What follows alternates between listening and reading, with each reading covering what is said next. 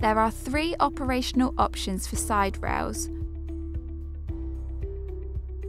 Removable rails are simply inserted into sockets when required and held firmly in place with grub screws.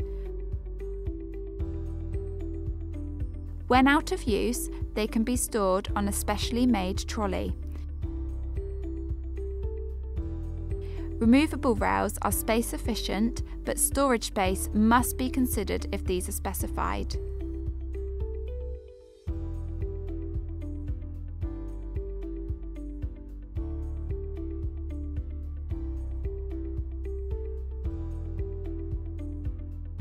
Self storing rails are the most operationally efficient option.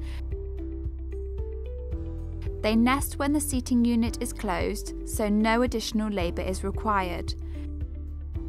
However, because they need to nest, self storing rails lean slightly out from the seating unit.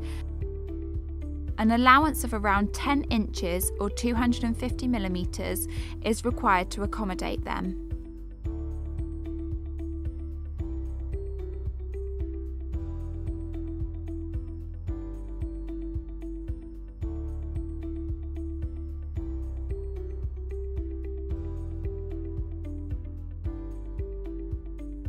Folding rails are an attractive option, offering reduced labour and space efficiency.